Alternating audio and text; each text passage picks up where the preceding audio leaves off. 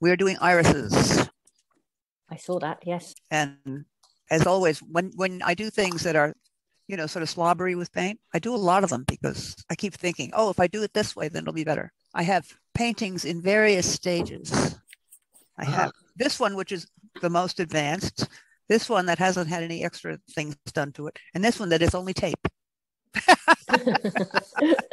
All ready to go. Yeah. So ammonia doesn't dry. It dries so that you touch it and it's dry. But if you if you don't do anything with it, it gets different. Like the next day, it's different. So this one is this one it was done. The original ammonia splashing was done. This one was done Monday. This one was done yesterday, I guess. And this one was done today. This one. So this one isn't the, the ammonia stuff is not as developed uh-huh. as it is in this. And I did not realize that before. Even when um, it, it, if you're if you're supposed to use ammonia, you can't use alcohol. They're not interchangeable. Is that correct? They're not interchangeable. But the reason I discovered ammonia as a painting thing was because I didn't have any rubbing alcohol left. So I tried. First, I tried hydrogen peroxide, and that does nothing. It's just like water. Mm. It doesn't do a darn thing. And then I tried gin, and that was pretty good, you know, uh, but not as good as alcohol. And then I tried ammonia, and it was it was the most dramatic. Uh-huh. had the biggest effect. So I totally abandoned alcohol. So you can use alcohol, but ammonia is more better. dramatic. And in fact, well, not better, because again, this is a lesson about not having about letting go of control. And so alcohol is a little more controllable. but ammonia, and I, I, don't know whether you can see see it. It's, it's probably best here. Oh yeah, flower. See see how it's got ripply things. Mm. Yes, and that's what reminded me of irises. I was going to do more cherry blossoms, so I put a blob of pink, and then I put some ammonia on it, thinking it would ruffle out. And I said, "That looks like an iris petal. I don't care, even if it is pink. it That'll looks do. like a, a pink iris." So that's why I switched to irises. You get better by painting. That is true. And I on this first one that I did, I did a background, oh, you know, sort of a meadow. Yeah. And I decided it detracted from the irises. So now I just like a green and sky. Um, mm. I like the background. I like and I taped the leaves. Um, and oh. so I've taped leaves here. And I've taped leaves through, throughout. And so first I'm going to do a quick and dirty sky so I'm using my regular favorite blue and dumbing it down a fair amount. And I'm going to add just a little bit of, of, of rose, I think it's rose matter, whatever this is, because I want it to be a little purpley because we know I'm going to mess up with the purple. so if there's a little purple in the sky, it will help with that, but lots of water. And so I'm just slobbering it on. And that way you can see where the tape is about halfway down. Oh, that's a darker sky than the other one. And maybe a little streak of the pink. And then I'm going to do the same thing with green down below. I like my hooker's green. So since I'm going to have these blobs of purple, I can just do this. But st I'm still trying to keep the idea of, you know, up and down. And I want these light because I want my front leaves, the taped ones, to be the dark part. So that should dry in, you know, in seconds. In the meantime, we will think about, I don't know which one to mess with. I'm going to mess with this one because it's it's better developed. Um, the big thing is if you're good at Rorschach tests, is figuring out finding the iris. It's like where's Waldo, except it's where's the iris color, and then taking away things so that it, it's more obvious. So like here, it's sort of like an iris petal, this this white whiter bit. So I'm just gonna I'm just gonna sort of dumb down some of the purple. Whoa, there's dirt on that brush. Tissues, yes. So now I've got a nice little bit of yellow here where I was going to dumb down. So maybe I have to make use of that. So I pulled stuff off to make this eh, more distinct as a petal. And so then this is going to be the top of the petal. And here's my center of my petal and round it out a little bit. Because that's the back petal. Okay. So now I'm going to stick my little bit of yellow in. And of course, it's gamboge, which is maybe why I like iris to begin with, is because they they do have that kind of really strong yellow. On our walk today, we passed a house on Duddington Street, and they have huge white irises. Really? Wow. I mean, they were up, you know, the tree box is a little bit up, you know, Mhm. maybe 10 inches up, but they came up to my shoulder. Wow. Whoa. And, uh, you know, I'm, you know, five nine ish. So they're huge, those irises, gorgeous. And, and one of the stalks was so full of petal blooms that it couldn't stand up anymore. And I, I tried to, you know, sort of prop it up and make it stand up. And then I noticed the inside and it's this, this bright, bright white, and then this gamboge yellow in the center. So I said, I have to get uh-huh. that picture. So now that hopefully looks like an iris. This that's the idea. That's what we're playing. We're playing find the iris petal. Here's another one. Here's the center that I did before. John Fine. just takes another sip, Sip of wine. Yes, this is the last. No, well, it's not the last step. The last step is taking the tape off and doing the leaves. This, yes, this is the penultimate step. Oh, and yeah, because I, I knew it wouldn't take long for that to dry. I'm going to make my splotches, my huge splotches of purple, so they can dry. So now I'm just slobbering purple, and I'm trying not to be too, you know, directional. I'm trying just to slobber. So there's some slobber. Did you put the tape on for the leaves already? Yes, yes. That I did. That I didn't think any of you needed me needed to watch. Oh, and I found a new tape. Not not for well, I haven't used it for for taping for taping in the painting, but now I don't want them all the same height. Then it looks like, then it looks too regular. Um, that if you use surgical tape to tape down paintings, that it, it really holds them very very flat. It's very very Ooh. very tight so that they are less likely to buckle. Um, so here's my amnoia. She's suggesting that she taped me to the bed with surgical tape so far. Dream on, dream on, dream on. oh, I was going to use the, the, I was going to try the Q-tips. The other thing I've done it with is is a little eyedropper, you know, that I've that I seem to have lost. So I'm not going to do it. And on the big one, I s- on on this one that was all done, I just squirted it out of the out of the bottle. Uh-huh. Oh, this is not enough. Maybe I'll squirt it. These are very tiny bottles. They don't squirt a lot. But you can see it's beginning to work already. Okay. Well, I can talk about this one, which is a different way of approaching it. And the greatest thing is that I put it on top of a piece of paper that I had stuff on already. So this is where I was practicing Oh. With my Q-tips for last week. And I will start this type of thing, which is basically wetting the whole thing. And in fact, if I had an even bigger brush, I would use it. And we won't get to finish this, but what what I'll do is I'll show you the way I did the way I did this one. Oh, look, the pink is coming up. That's fun. So this will be a very pink set of irises. And now do the same thing with the purples. And I want to remember, oh, I'm going to turn it the other way because I really didn't like the fact that it's totally closed in at the top. So I'm going to try not to put so much at the top as I did last time.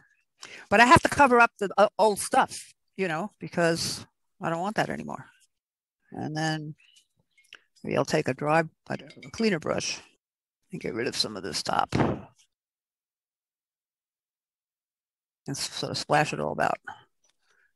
You know, you put your right foot in, you put your right foot out, you put your right foot in, and you shake it all about. That's what this is all about. Shaking it all about. Taking it about. Yep. This is not enough paint. In the middle, I want a lot of paint. And then and that's that's what I told you I did. Oh, that's too much there. That's a puddle, not just a drip. It's a puddle. Oh, it smells. Here are your sinuses. Ooh. So it's beginning to work already. very interesting. Is, is that ammonia, you said? Yes, it's ammonia. It smells bad I, I can imagine. God. Yeah, don't put too much. because I just sprayed it all over the place. I, I I hesitate to put it in a spray bottle. I, I mean, I think that would be so cool to just spray it with a with a you know with an old Windex You know bottle or something. You should do is you get a Windex bottle, the kind that had ammonia in it, and, and use that. and just use the Okay. Windex. I Use the couldn't. Windex. Yeah, but I've got Windex. That's what I'm going to try to use. Ah, then you can tell us how it works. Yeah. So that's beginning to work. And I think I'm going to add a little more purple because I see, it seems to be washing out a lot of my purple. Where'd it go? Here it is. Especially down here in this puddle. Oh, so so good tape for taping down, which I didn't use with this because because this was a piece of paper that I was going to throw out. Um, surgical tape, and the gal who did it said that it's it's not very waterproof, so you may want to you might want to put tape over it. But I slobbered this one just the way I slobbered this this, Excuse me. and this was done with surgical tape. And look at how nice those margins are. I mean, all that's very clean, I think, and it didn't it didn't bend. I mean, you know, it didn't buckle at all. It bent now that it's off the board, but it didn't buckle. So I'm putting this down, and what do we go back to? We go back to look at this. So here's that iris petal now looking a little bit more developed. Windex doesn't work. Windex doesn't work. Nope. No.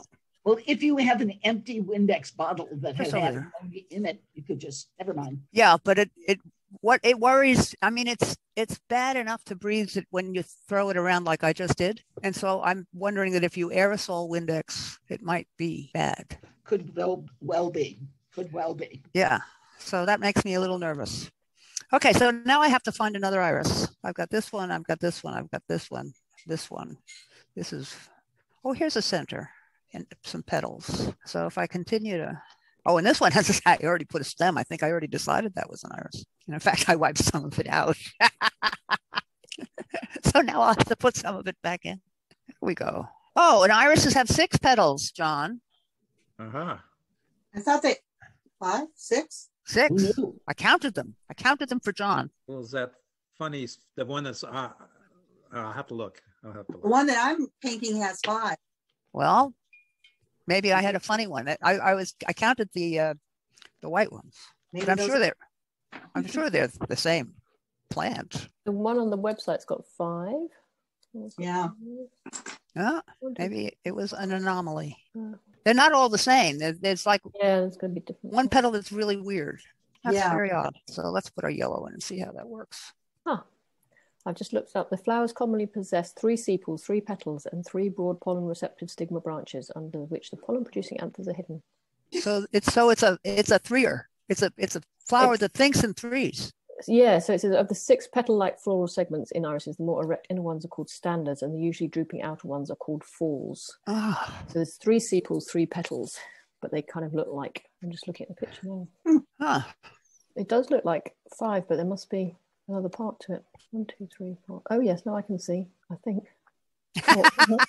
Unless my eyes are deceiving me.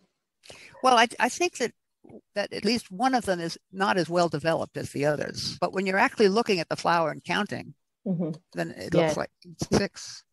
You need to. This is, this is really ugly, whatever this is. Oh, put paint back in it. It's unique. It's unique, but but we've been looking at five and four, Four. Yeah.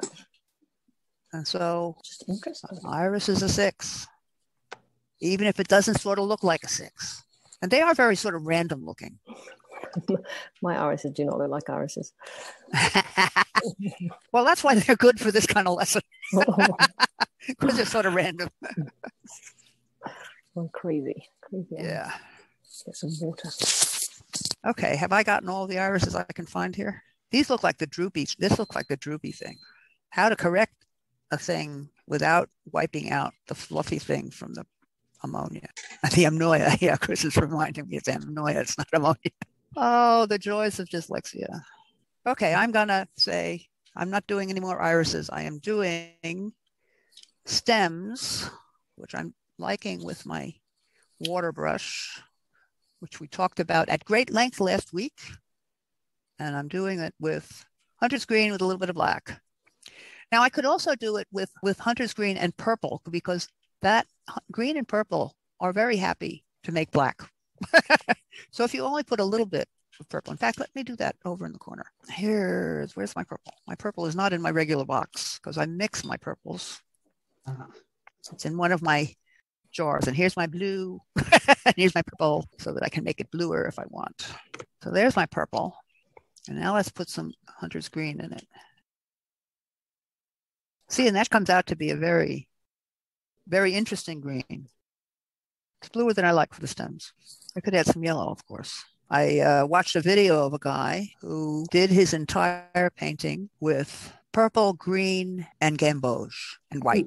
He was wasn't a watercolorist; he was a um, gouache, so that's thicker, and so you think more like a an oil painter, not as much like a watercolorist. It was very interesting because he was, you know, he was doing something that has sort of normal colors. And how's your favorite yellow? He had my favorite yellow. Okay, so this is all tape. And that's all, that's got a stem. And this one has this stem. And this one has a stem. And this one stem would be about here. And then there's a question of what do you do with the things that are in between that aren't quite irises, but they're purple, but they're definitely purple. Good question. Yeah, it is a good question. I don't know what the answer is. I think probably you put a lot of green on it. Okay, so it's, that's almost done. That's just this wet spot. I'm going to blot that and get a white spot. There, nice little white spot. And I can use the Q-tip to make it. Oh, I'm going to stick the Q-tip in the ammonia and stick it in that middle and see what happens. Don't put it in your ear afterwards, that's all. yeah, what happens when you put watercolor in your ear? You, You- end up with a dirty ear. yeah, burnt eardrum. Yeah. Okay. So that's going to do whatever that's going to do. I'm going to let that dry. This is the one that I did at the beginning of class. It's still too wet to mess with, but you but you can begin to see ha, the best one is right there on the tape. That is the best one. But you can see how you can begin to work with that. But I'm not going to work with that. I'm going to pull the tape off the one that I did before so that we can see it with tape, without tape, because this is the driest. That it goes right into the flower. Oh, this is not working. This tape is it's too stick, too stuck. It's destroying my paper. Is there a reason you did not use goop? Uh, well, because it's easy to make these kind of spear-like leaves with tape. Okay. They kind of do look like irises with, with you know, mother-in-law tongues in the front. You know, those Yes. Yes. snake plants, whatever. Yes. It's brought me my wine. Have a great Okay. week. So you- you'll have time to practice, so that's good too. you. Okay. Thank you again. Bye-bye. Bye-bye. Bye bye.